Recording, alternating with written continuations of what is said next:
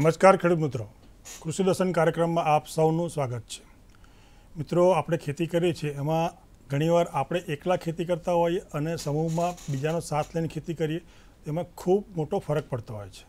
સાથ સહકારથી આગળ વધીએ તો સો ટકા આપણી ખેતીમાં બરકત આવે છે અને આપણો વિકાસ થઈ શકે છે ખેતીમાં. ખેતીની વાત કરીએ અને સહકારની વાત કરીએ તો આપણા ગુજરાતમાં અને સમગ્ર દેશમાં આખું સહકારી માળખું ગોઠવાયેલું છે. ગામડા લેવલે વાત કરીએ તો ગામડામાં સહકારી મંડળી છે, તાલુકામાં તાલુકા સહકારી સંઘ હોય છે, જિલ્લા સહકારી સંઘ હોય છે અને રાજ્ય લેવલે પણ સહકારી સંસ્થા હોય છે. સમગ્ર દેશમાં પણ એક સહકારી સંસ્થા મોટી આવેલી છે. આ સંસ્થાઓ અત્યારે ખેડૂતો માટે અને અન્ય લોકો માટે ખૂબ સરસ કામગીરી કરી રહી છે. પરંતુ ઘણી બધા એવા પ્રશ્નો થતા હોય છે કે એમની પાસે મોટા પડકારો પણ હોય છે. એ સંસ્થા ચલાવવા માટે એમને ઘણા બધા વિઘ્નો આવતા હોય છે, પડકારો આવતા હોય છે, પ્રશ્નો હોય છે. એની સામે એમને ઝઝુમવું પડતું હોય છે. હવે એ જજુમવા માટે બી અત્યારે આપણે ખેડૂતોએ અને સરકારે અને અન્ય તમામ સંસ્થાઓનો સાથ સહકાર લઈ આપણે પડકારોનો સામનો કરીએ તો ચોક્કસ એમાં નિરાકરણ આવશે અને આપણો વિકાસ થઈ શકે છે. તો મિત્રો, આજનો આપણો વિષય છે સહકારી સંસ્થાઓ સામેના પડકારો. સહકારી સંસ્થા કેવી રીતે ચાલે છે આપ સૌ જાણતા હશો. પણ એને વધુ સારી રીતે કેવી રીતે ચલાવવી એ આજનો મુખ્ય વિષય છે. અને એની માહિતી આપવા માટે આજે આપણા સ્ટુડિયોમાં શ્રી મહેન્દ્રભાઈ ત્રિવેદી સાહેબ, જેઓ પ્રોફેસર તરીકે એનઆઈસીએમાં ફરજ બજાવે છે, જે આપણને સહકારી સંસ્થા વિશે એમાં એની કામગીરી વિશે અને એની સામે જે મુખ્ય પડકારો છે એની વાત કરશે. ચાલો આપણે કાર્યક્રમ શરૂઆત કરીએ. નમસ્કાર ત્રિવેદી સાહેબ. નમસ્કાર આપનું સ્વાગત છે. સાહેબ. ખૂબ ખૂબ આભાર આપનો. હાજી. સાહેબ પહેલો પ્રશ્ન એ થાય કે આપ સહકારી સંસ્થા એનઆઈસીએમમાંથી આવો છો એટલે એનઆઈસીએમથી. જી. તો આપણા ગુજરાત રાજ્યમાં અને સમગ્ર દેશમાં મુખ્યત્વે કયા કયા પડકારો સહકારી સંસ્થાઓમાં છે અત્યારે? હા સૌપ્રથમ તો દૂરદર્શન અમદાવાદ અને એનઆઈસીએમ કોલેજનો ખાસ આભાર માનું છું કે મને બહુ સરસ તક આપી છે આ વાત કરવા માટે. તમે જે વિષયની શરૂઆત કરી છે, એ બાય એન્ડ લાર્જ લગભગ દરેક જગ્યાએ આ વસ્તુ જોવા મળે છે. પડકારોની વાત છે, સહકારી ક્ષેત્ર ત્રિસ્તરીય માળખું છે આપણા દેશમાં, મોટાભાગે. ગામડા લેવલે મંડળીઓ છે શરાફી મંડળી હોય, અન્ય મંડળી અને ખાસ કરીને કૃષિ સેવા સહકારી મંડળી. જિલ્લા લેવલે જિલ્લા મધ્યસ્થ બેન્કો અને રાજ્ય કક્ષાએ રાજ્ય બેંક, રાજ્ય ખેતી બેંક અને અઢાર મધ્યસ્થ બેંક. તો આમ ગણો તો ગુજરાતની અંદર પંચ્યાસી હજાર બસો ને પંચોતેરથી વધારે કોઓપરેટિવ સંસ્થાઓ કામ કરે છે. અને આ બધી સંસ્થાઓને જો મજબૂત બનાવવી હોય તો જે પડકારો એની સામે રહેલા છે, એની આજે આપણે થોડી ચર્ચા કરીશું. ખાસ કરીને પડકારની અંદર આપણે એમ ગણી શકીએ કે એમની પાસે લિમિટેડ કાર્યક્ષેત્ર છે, સભ્ય સંખ્યા મર્યાદિત છે કાયદા કાનૂની રીતે જે કંઈ પાલન કરવાનું છે, એના માટેની માળખાકીય સુવિધા પણ ઓછી છે.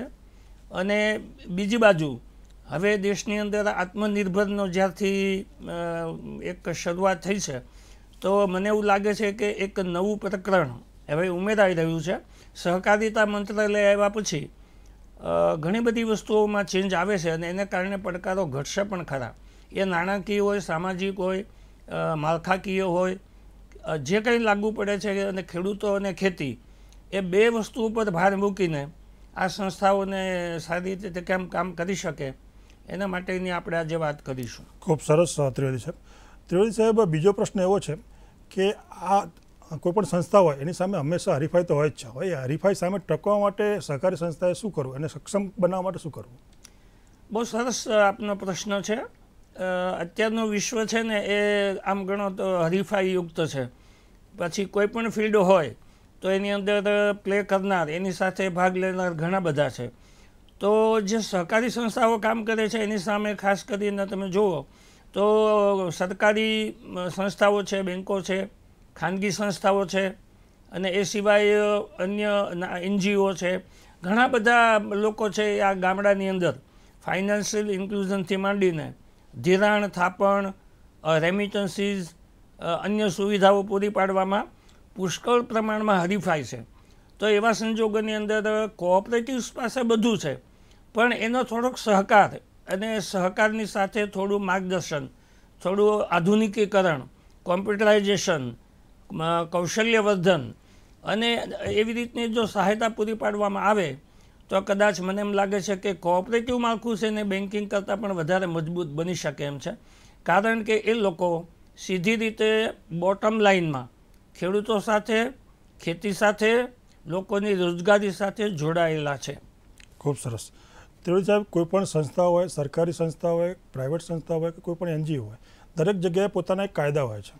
સહકારી સંસ્થાઓની વાત કરીએ તો સહકારી કાયદો પણ અમલમાં છે અને એના પેટા નિયમો પણ છે. તો અમને આ કાયદા વિશે અને પેટા નિયમો વિશે વાત કરશો? ખાસ કરીને આપનો પ્રશ્ન બહુ સરસ છે. આપણે ગામડા લેવલે જો વાત કરીએ તો મોટાભાગે દરેક ગામમાં મંડળી હોય છે. મંડળી એટલે PACS, primary agriculture credit cooperative society. તો એની અંદર શું છે કે સભ્યપદ અને સંચાલન લોકશાહીના ધોરણે ચાલે છે. સભ્યનું ભંડોળ આવે અને સભ્ય છે એ માત્ર શેર લઈને બેસી રહે. પણ મંડળી જે કંઈ કામ કરે છે, જે થાપણ સ્વીકારે છે, ધિરાણ આપે છે અન્ય વેપાર કરે છે, જંતુનાશક, દવા, ખાતર, બિયારણ, એ બધી વસ્તુઓની અંદર જો હિસ્સેદારી ન લે, એમાં ભાગ ન લે, તો એવા મેમ્બરને આપણે એક્ટિવ મેમ્બર કહી શકીએ નહીં. એક્ટિવ મેમ્બર એટલે બધા એની ભાગીદારીથી આ કામ ચાલે અને બધા ખેડૂતો એમાં જોડાય, જે તે વિસ્તારમાં કામ કરતી સંસ્થા જોડે. તો કદાચ મને લાગે છે કે આ બાબતની અંદર જાગૃતિ આવશે કારણ કે હવે પછીની જનરેશન છે, એની પાસે ઘણું બધું નોલેજ છે. એ લોકો કમ્પ્યુટરાઇઝ કેવી, જે છે કોમ્પ્યુટર કઈ રીતે ચલાવવું, આધુનિક સુવિધાઓ કઈ રીતે વાપરવી. પણ હકીકત એ છે કે મંડળીઓ જે કામ કરે છે કોઓપરેટિવ્સ કામ કરે છે, એની પાસે બોડી જે છે, સંચાલન કરનાર. એની પાસે પણ આજની તારીખે કહી શકાય કે સારા લોકો એમાં જોડાયેલા હોતા નથી. એનો મતલબ એમ છે કે એનું બંધારણ શું છે? પેટા કાયદા બાયલોઝ પેટા કાયદા જે છે ને, એને અનુરૂપ કામગીરી એ કરી શકે. અને એની જાણકારીનો અભાવ સામાન્ય રીતે મંડળી જે કામ કરે છે, એનું જે વ્યવસ્થા મંડળ છે, સંચાલક મંડળ, એની ખબર નથી હોતી કે અમારી સંસ્થા કયું કામ કરી શકે, કયું ન કરી શકે. અથવા તો અમે કઈ કામગીરી કરી શકીએ અથવા ના કરી શકીએ. અમારું કાર્યક્ષેત્ર કેટલું અને અમને શું મળે, આમાં શું ફાયદો, ગેરફાયદો? એટલે કે જે મિનિંગફુલ ડાયલોગ થવા જોઈએ અને સંચાલનમાં જે ખામી હોય એ દૂર થવી જોઈએ આ બાબતમાં મને એવું લાગે છે કે હજી પડકાર છે. આગળ જતાં કદાચ નવી પેઢી ઉપયોગી થશે. ખૂબ સરસ ત્રિવેદી સાહેબ. દર્શક મિત્રો ત્રિવેદી સાહેબ આજે આપણને સહકારી સંસ્થા વિશે ખૂબ જ અગત્યની માહિતી આપી રહ્યા છે. અત્યારે સમય છે એક વિરામનો. વિરામ બાદ મળીએ.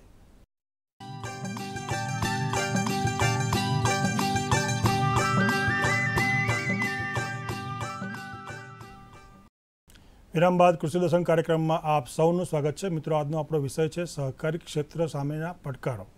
ત્રિવેદી સાહેબ, આગળ વધીએ. તો જે સહકારી સંસ્થાઓ છે, એમાં સૌથી અગત્યની વાત હોય છે હિસાબ. તો હિસાબી પદ્ધતિમાં કેવી રીતે કામ કરવું બહુ સરસ તમારો પ્રશ્ન ખરેખર આજની તારીખે બહુ જ જેને કહી શકાય ગંભીર છે. કારણ કે જે કોઓપરેટિવ્સ કામ કરે છે, તમે જાણો છો કે બેંકની અંદર પ્રાઇવેટ હોય કે પીએસયુ બેંક હોય, દરેકની અંદર core banking solution CBS system છે, હિસાબ માટેનો એક પ્રોગ્રામ છે. અને એની અંદર બધી જ વસ્તુ ઓટોમેટિક થાય છે, નેવિગેશન. કઈ રીતે આપણે એમાં વાઉચર એન્ટર કરવું, કઈ રીતે હિસાબ કરવો? મોટાભાગના મેન્યુઅલ કામ કરવાના હોય છે, હિસાબની કામગીરી મશીન કરે છે. એટલે કે એનું જે આઉટપુટ છે, એ મશીન દ્વારા, કોમ્પ્યુટર દ્વારા મળે છે. પણ મંડળીઓ શું કરે છે કે મોટાભાગે એના સંચાલક મંડળમાં કે એની પાસે રાખેલા માણસ એ કોમ્પ્યુટરની બાબતમાં એટલા ચોક્કસ હોતા નથી. અથવા તો આઉટસોર્સ એજન્સી જે સારી હોય, એ પ્રોગ્રામમાં એ કામ કરી અને કમ્પ્લાયન્સ કરે છે. એના ડેટા મોકલવા, પત્રકો મોકલવા, માહિતી આપવી, સરકારને મેસેજ કરવા, નાબાર્ડ સુધીની મદદ મેળવવા અથવા એના જે કાંઈ ફિગર માગ્યા હોય, તો એ શું કરે છે? મંડળીઓ છે એ જિલ્લા બેંકને મોકલે છે, જિલ્લા બેંક રાજ્ય સહકારી બેંકને મોકલે છે. રાજ્ય સહકારી બેંક છે એ નાબાર્ડને મોકલે છે. નાબાર્ડ છે એ રિઝર્વ બેંકને વાત કરે છે. આ આખી ચેન જે છે, એ ચેનની અંદર હવે પછીના સમયમાં આપણે એમ કહી શકીએ કોરોના ગયા પછી જૂન બે હજાર વીસ પછીથી એક નવી શરૂઆત થઈ છે આપણા દેશમાં. અને મને કહેતા આનંદ થાય છે કે જે પેક્સ કામ કરે છે સહકારી મંડળીઓ, એના માટે ગવર્મેન્ટ અત્યારે સાહેબ કોમ્પ્યુટરાઇઝેશન માટેનો એક નવો પ્રોગ્રામ એ લઈને આવી છે અને દરેકને તાલીમ આપવામાં આવી રહી છે. એનું નામ છે કોપ્સ ઇન્ડિયા, કોપ્સ. એટલે કે સહકારી વિભાગનું એક કોમ્પ્યુટરાઇઝનું કોમ્પેક્ટ માળખું. કે જેની અંદર કામ કરશે તો જે તે એજન્સી, જે તે બેંક, ગવર્મેન્ટ, આરબીઆઈ, સહકારિતા મંત્રાલય કાંઈ બી જોવું હશે તો એ પ્રોગ્રામના આધારે કોઈ પણ સંસ્થાની કામગીરીને ગમે ત્યારે જોઈ શકશે.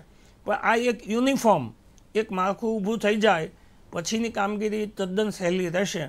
પણ એક વસ્તુ છે કે આની અંદર ચોકસાઈ જોશે અને કોમ્પ્યુટરનું જ્ઞાન હોય એવા કર્મચારી દરેક કોઓપરેટિવ પાસે હોવા જોઈએ. તો હિસાબી પદ્ધતિમાં કોઈ પ્રોબ્લેમ થશે નહીં. અત્યારે આ તકે મારે કહેવું જરૂરી છે કે હિસાબી કામકાજ છે ને, એ કોઈ પણ સંસ્થાની અંદર કરોડ રજ્જુ છે એની સ્પાઇન કોર્સ એમાં કંઈક ગડબડ હશે તો પ્રોબ્લેમ થવાનો. તો હિસાબી કામકાજની પદ્ધતિમાં હવે મેન્યુઅલ કોઈ કામ કરે તો એ ચાલે એવું નથી. તો કોમ્પ્યુટર આધારિત જે માળખું છે એને વધારે ગવર્મેન્ટ ધીમે ધીમે મજબૂત બનાવવા તરફ જઈ રહી છે. અને બહુ સારી વાત છે કે આવું એક વખત ગોઠવાઈ જશે. તો દેશ લેવલે કોઓપરેટિવ્સ પાસે એ નાણાં જે હિસાબી પદ્ધતિના જે પ્રશ્નો છે એ મારી દ્રષ્ટિએ ઉકેલાઈ જશે અને રિઝલ્ટ એનું બહુ સારું મળશે. ખૂબ સરસ ત્રિવેદી સાહેબ. ત્રિવેદી સાહેબ આ જે સહકારી સંસ્થાઓ છે એમાં ખેડૂતો કદાચ ઓછા સક્રિય હશે પણ એ સંસ્થા ચાલે છે એના સંચાલકો દ્વારા. તો આ સંચાલકોને આપણે કૌશલ્ય વર્ધન એટલે કે એની ટ્રેનિંગ આપવી જોઈએ અથવા એમનો નેતૃત્વ વિકાસ કરવો જોઈએ? સારી વાત છે. ખાસ કરીને અમે જોયું છે, અમારા જે ખાસ કરીને અમે જે કામ કરીએ છીએ, એમાં મંડળીઓ છે, જિલ્લા બેંક છે, એના સ્ટાફ જોડે અમારે મોટાભાગના પ્રોગ્રામ થતા હોય છે. તો જાગૃતિનો અભાવ જેને કહીએ ને, વ્યવસ્થાપક મંડળ છે, એનું બોર્ડ ઓફ ડિરેક્ટર અને એને જે સંચાલન મંડળ છે એની પાસે પણ ઘણીવાર માહિતી પૂરી હોતી નથી. અથવા મિટિંગ બોલાવ્યા ત્યારે એજન્ડા કઈ બાબતના છે, ઓડિટનું રેટિંગ મંડળીનું ઘટ્યું, તો શા માટે ઘટ્યું? આપણી મંડળી કઈ બાબતમાં પાછળ છે? આપણે શું નથી કરતા? અથવા આપણે જે કરીએ છીએ ખરેખર કાયદાની રીતે યોગ્ય છે કે નહીં? આવી વસ્તુઓના જો તમારે જવાબ જોઈતા હોય, તો મારી દ્રષ્ટિએ આ એક મોટો પડકાર છે. દરેકે એમાં ભાગ લેવો જોઈએ અને જે પોતે કામગીરી કરે છે તો એની અંદર અન્ય સંસ્થાઓની સરખામણીમાં આપણી કોઓપરેટિવ્સ છે એ શા માટે આગળ ન વધી શકે? પ્રાઇવેટ બેંક ખાનગી બેંક અને બીજી સંસ્થાઓ જો આજની તારીખે આત્મનિર્ભરના લક્ષ્ય સાથે ગામડામાં કામ કરી શકતી હોય બધું જ, તો મંડળી શા માટે ન કરી શકે? આ પ્રશ્ન ત્યારે જ એના મગજમાં એ સમજાશે કે જ્યારે એમની પાસે યોગ્ય પ્રકારના કૌશલ્યવર્ધનવાળા એ જે સ્ટાફ છે, એના મેમ્બર્સ છે હોવા જોઈએ. બાય ધ વે વાત કરું કે મંડળ જે છે એની અંદર એવા નિયમ છે કે એની અંદર એક જણો એવો હોવો જોઈએ જે પ્રોફેશનલ હોય. કે જે સીએનું કે કોઈ એવું ભણેલો હોય કે જેની પાસે બધી માહિતી હોય. પણ એ નાના લેવલે એ પણ અત્યારે બહુ ઉપલબ્ધ મળતા નથી. અને એને કારણે પણ ઘણીવાર પ્રોબ્લેમ એ રીતે થતા હોય છે. કે કામ કરનાર જે ટીમ છે એ બધાના વતી એ સંચાલન કરે છે અને એના એની અંદર એવું સૂત્ર છે કે બધા માટે એક અને એક માટે બધા.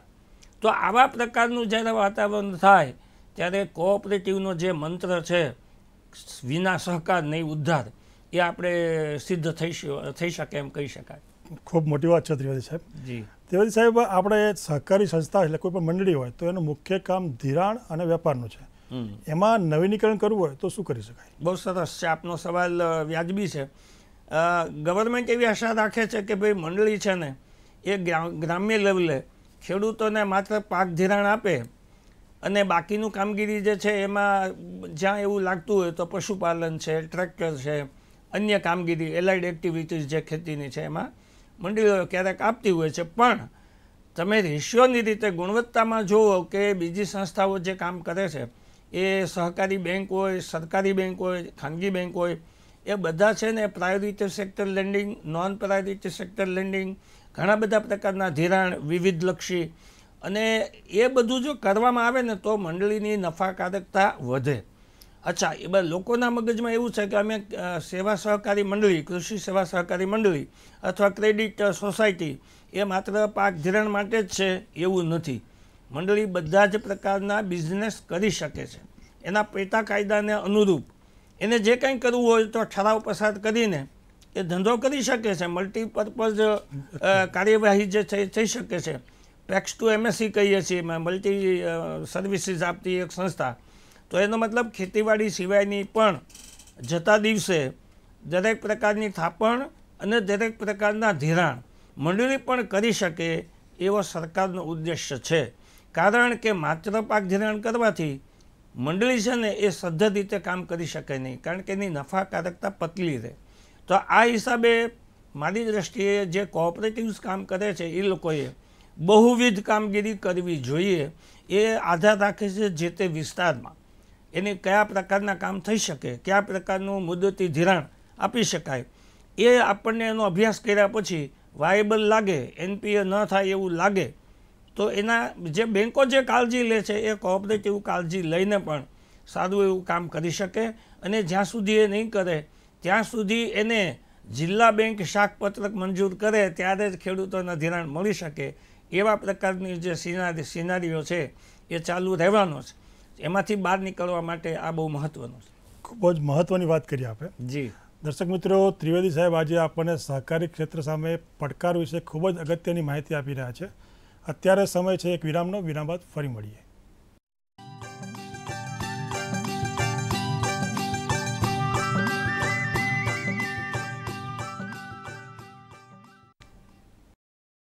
વિરામ બાદ કૃષિ દર્શન કાર્યક્રમમાં આપ સૌનું સ્વાગત છે. મિત્રો, આજનો આપણો વિષય છે સહકારી ક્ષેત્ર સામેના પડકારો અને માહિતી આપી રહ્યા છે ત્રિવેદી સાહેબ. ત્રિવેદી સાહેબ, અમને એક પૂછવાની ઈચ્છા થાય કે જે સહકારી સંસ્થાઓ છે અને ખેડૂતોની સંસ્થા છે, તો એમાં જે મોટાભાગના સભાસદો હોય છે આ સભાસદોનો વિશ્વાસ સંપાદન કરવા માટે શું કરવું? બહુ સારો પ્રશ્ન છે, કારણ કે સભાસદો જે છે ને, એ એના માટે તો આ સંસ્થા છે. અને જે તે વિસ્તારમાં જે કોઓપરેટિવ્સ કામ કરે છે, એ વિસ્તારના મેમ્બર્સ જે હોય, એની સાથે જોડાયેલા છે. એનો મતલબ હું મારી રીતે એમ કહું કે કોઓપરેટિવ્સ જે કંઈ કમાય છે, અથવા ધંધો કરીને એનો કમાણીનો હેતુ નથી. કોઓપરેટિવ્સ ઓગણીસો ચારથી શરૂ થયેલું છે. પણ એની અંદર મુખ્ય જે પર્પસ જે છે મેઇન હેતુ કે એને ગ્રામ્ય વિસ્તારની અંદર થાપણ લેવી, ધિરાણ આપવું અને ખેડૂતોને જે જરૂર હોય એવા પ્રકારના ખાતર, દવા, બિયારણ અને અન્ય સેવાઓમાં દાખલા તરીકે એક સાથે પાક આવે, માર્કેટમાં ભાવ ડાઉન થઈ જાય છે, ટેકાના ભાવની માગણી કરે છે. પણ આને માટે સોલ્યુશન એ છે કે ભંડારણ વ્યવસ્થા, ગોડાઉન એ દરેક જગ્યાએ હોય તો મોટાભાગના ખેડૂતો છે એમાં મૂકી શકે. જ્યારે માર્કેટમાં ભાવ ઉચકાય ત્યારે વેચી શકે. અન્ય સમયમાં આવા જે માલ મુકાયેલા હોય, તો એની સામે બેંકમાંથી ધિરાણ પણ મળે છે. તો આ બધી સુવિધાઓ એનો ઉપયોગ કરવો હોય તો સભ્યોએ, ખાસ કરીને કોઓપરેટિવ્સની જોડે, સઘનપણે જોડાવવું જોઈએ, એક્ટિવ મેમ્બર બનવું જોઈએ. માત્ર શેર લઈ લે અને મેમ્બર થઈ ગયા, તો એનીથી મંડળીને કે સંસ્થાને કોઈ ફાયદો નથી. એક્ટિવલી ભાગ લેવો પડે તો શું થાય કે એ જે કંઈ પ્રવૃત્તિ થાય છે, એની અંદર એ બધાનું યોગદાન આવે. અને હકીકતમાં એને કારણે જે કમાણી થાય છે, તો ડિવિડન્ડના સ્વરૂપમાં જે તે વિસ્તારના ખેડૂતો અને સભ્યોને એનો લાભ મળે છે. કારણ કે એ જે કમાણી થાય છે, એમાં એ નફો ગવર્મેન્ટ લઈ જતી નથી. સરકારને કશું આપવાનું નથી. મંડળી સઘન રીતે કામ કરશે, સારું કરશે, તો ઊંચું ડિવિડન્ડ સભ્યોને મળશે. અને એને કારણે શું બને છે કે ગ્રામ્ય વિસ્તારની અંદર ફાઇનાન્શિયલ ઇન્ક્લુઝન જે છે ને, એ ખરેખર આ બહુ જૂનો મુદ્દો છે, પણ આજની તારીખે હજી એવા ખેડૂતો છે કે જે મંડળીની અંદર દિવસમાં ચાર વાર આવે છે, બેસવા આવે છે, વાતો કરે છે, પણ ધંધાની અંદર ભાગ લેતા નથી. તો એનો મતલબ કે સંસ્થાને મજબૂત બનાવવી હોય, તો આ એક મોટો પડકાર છે કે એને આપણી સાથે જોડવા જોઈએ. શા માટે એ બેંક ઓફ બરોડા કે સ્ટેટ બેંક ઓફ ઇન્ડિયામાં એ કેસીસી લેવા જાય છે? આપણે કેસીસી આપીએ છીએ કિસાન ક્રેડિટ કાર્ડ. તો અન્ય બેંક પાસેથી લેવાનું મુલતવી રાખી અને પોતાની સંસ્થાને સાથે જોડાય તો આ એક વસ્તુ છે ઘણી સહેલી પડે અને એનીથી બધાને લાભ પણ મળે. ખૂબ મોટી વાત કરી ત્રિવેદી સાહેબ. ત્રિવેદી સાહેબ કોઈ પણ સહકારી મંડળી હોય તો એનું બંધારણ વિશે અમને માહિતી આપશો ને? કે એમાં ચેરમેન કોણ હોય સેક્રેટરી કોણ હોય સભાસદ કોણ હોય અને ખેડૂતો? તમારો પ્રશ્ન બહુ સરસ છે. અને મોટાભાગે બધા જ મંડળી ચલાવનારા અને જે તે વિસ્તારમાં રહેતા સભ્યો આ અંગે જાણે છે કે ભાઈ આ ડેમોક્રેટિક વેમાં ચાલતું એક એકમ છે. માત્ર એ કોઓપરેટિવ છે, સરકારી નથી. તો એના માટે સહકારી વિભાગના જે કાયદા છે, એ એને લાગુ પડે છે. એટલે તમે જુઓ તો બંધારણની રીતે લોકશાહીના ધોરણે ચાલતી આ સંસ્થાઓ છે અને જેની અંદર વહીવટ છે ને પારદર્શક છે, ટ્રાન્સપરન્ટ છે. કંઈ બી કરવું હશે, હિસાબ રજૂ કરવા હશે, કોઈ એને ધંધો શરૂ કરવો હશે, તો જનરલ બોડી મિટિંગમાં આ બધી વસ્તુની ચર્ચા થવી જોઈએ. અને એની અંદર એવું છે કે મંડળી જે છે, એને માટે પ્રશ્ન એ છે કે વ્યવસ્થાપક સંચાલક મંડળ છે, જે એમાં ખાસ કરીને મંત્રી છે, સેક્રેટરી, ચેરમેન આપણે જે કહીએ છીએ, અને બાકીના સભ્યો છે. તો સભ્ય સંખ્યા કેટલી હોવી જોઈએ એ કાયદામાં નક્કી કરેલું છે. એની અંદર રિઝર્વેશન કેટલું કેટલું છે મહિલાઓ માટે પછાત માટે આ બધાનું પાલન કરવાનું હોય છે. અને એની અંદર અવારનવાર સરકારને યોગ્ય લાગે એ પ્રમાણે ચેન્જ કરે છે. જ્યારે સરકાર સહકારી કાયદામાં પરિવર્તન કરે, ત્યારે મંડળીનો જે પેટા કાયદા છે જેનું બંધારણનું મુખ્ય પેપર છે, જેને આપણે કહીએ છીએ બાયલોઝ તો બાયલોઝમાં એને અનુરૂપ સુધારા કરવા જોઈએ. જેથી કરીને એને કાયદાકીય પ્રશ્નોનો સામનો કરવો પડે નહીં. બીજું ઓડિટ આવે ત્યારે પણ આ અંગે મંડળીઓને કોઈ જાતનો ભય રહે નહીં. તો કાયદાનું પાલન કરવાની સાથે સાથે બંધારણને અનુરૂપ જો મંડળી ચાલે, ધંધો કરે, સભ્યો જોડાય અને એ સંસ્થા કામ કરે, તો ગ્રામ્ય વિસ્તારમાં આપણે કહીએ ને શિવ મંદિર, ચોરો, સ્કૂલ, સ્મશાન, આ બધાનું જેટલું મહત્ત્વ છે ને એવું જ મહત્ત્વ મંડળીનું છે. પણ લોકોએ એમાં પોતાની ભાગીદારી સભ્યોએ નોંધાવી જોઈએ. ખૂબ સરસ વાત કરી ત્રિવેદી સાહેબ. ત્રિવેદી સાહેબ કોઈ પણ ગામ હોય તાલુકો હોય કે જિલ્લો હોય એક સહકારી સંસ્થાને એક આગવી ઓળખ ઊભી કરવી હોય તો આપણે શું કરી શકાય? મોટાભાગે તમારો સવાલ બહુ સરસ છે મને ગમ્યો. કારણ કે આગવી ઓળખ ઊભી કરી શક્યા નથી. એના કારણો ઘણા બધા હોઈ શકે. એના ઘણા બધા કારણો હોઈ શકે પણ આગવી ઓળખ ઊભી કરવી હોય તો પહેલી વાત એ છે કે મંડળી લેવલે જે લીડરશિપ જે છે ને, એ બહુ સરસ હોવી જોઈએ, મજબૂત હોવી જોઈએ. બીજી રીતે કહું ને તો મંડળીને મંડળીની રીતે ચાલવા દેવી જોઈએ કોઓપરેટિવ સંસ્થાને એની રીતે કામ કરવા દેવું જોઈએ. તો એ મારો મતલબ એ છે કે એની અંદર ખાસ કરીને કોઈ બહારનો હસ્તક્ષેપ કે કોઈ પૂરા પૂર્વાગ્રહ કે કોઈ પણ જાતના બાયસ વિના જો કામ થાય અને મંડળી જો ચલાવવામાં આવે ને, તો કોઈ જાતનો પ્રશ્ન રહેતો નથી. સરકાર ખૂબ જ બધી રીતે સહાય કરે છે, નાબાર્ડ મદદ કરે છે આરબીઆઈ પણ એવું ઈચ્છે છે કે દેશની તમામ કોઓપરેટિવ્સ ખૂબ જ મજબૂત બને. સાહેબ સમયની મર્યાદા છે. અંતમાં ખેડૂતો અને સહકારી મંડળીના સભાસદો માટે આપ શું સંદેશ આપશો? સાહેબ મારો સંદેશ એક જ છે કે અમિતભાઈ શાહ જે સહકારિતા મંત્રાલયના આપણા દેશના મુખ્ય એના પ્રધાન છે એવું ઈચ્છે છે કે આ દેશનું કોઓપરેટિવ્સ છે ને એ ચીલા ચાલુ પરંપરાગત બધી પદ્ધતિમાંથી બહાર આવે. અને ખૂબ મજબૂત બને. તો મારા તમામ ખેડૂત મિત્રો, સભાસદોને નમ્ર વિનંતી કે તમારી સંસ્થાને માતૃ સંસ્થા ગણી અને એની સાથે આપણે વિના સહકાર નહીં ઉદ્ધાર, એ માત્ર સ્લોગન નહીં. રિયલ સેન્સમાં સાચા અર્થમાં જો સાકાર થાય, તો ખૂબ જ ફાયદો થવાનો છે. આવનારા દિવસો માટે હું ઉજ્જવળ ભવિષ્ય જોઈ રહ્યો છું. ખૂબ સરસ ત્રિવેદી સાહેબ. આજે આપ અમારા સ્ટુડિયોમાં વધાર્યા અને સહકારી સંસ્થાઓ માટેના પડકારો વિશે જે મહત્ત્વની અગત્યની વાત કરી એ બદલ ખેડૂતો વતી તમામ ગુજરાતના સભાસદો વતી અને દૂરદર્શન વતી આપનો આભાર માનું છું. ખૂબ ખૂબ આભાર દૂરદર્શનનો અને એનઆઈસીએમનો અને મારા તમામ દર્શક મિત્રોનો ખૂબ ખૂબ આભાર. નમસ્કાર. દર્શક મિત્રો જોયું ત્રિવેદી સાહેબ આજે આપણા સ્ટુડિયોમાં પધાર્યા અને સહકારી ક્ષેત્ર સામેના પડકારો વિશે એમને ખૂબ જ મહત્ત્વની વાત કરી. આશા રાખો ગુજરાતની સહકારી સંસ્થાઓના સભાસદોને અને ખેડૂતોને આજનો કાર્યક્રમ ખૂબ જ ઉપયોગી નીવડશે. આવી જ અગત્યની માહિતી સાથે ફરીથી મળીશું કૃષિ દર્શનમાં ત્યાં સુધી રજા આપશો. નમસ્કાર.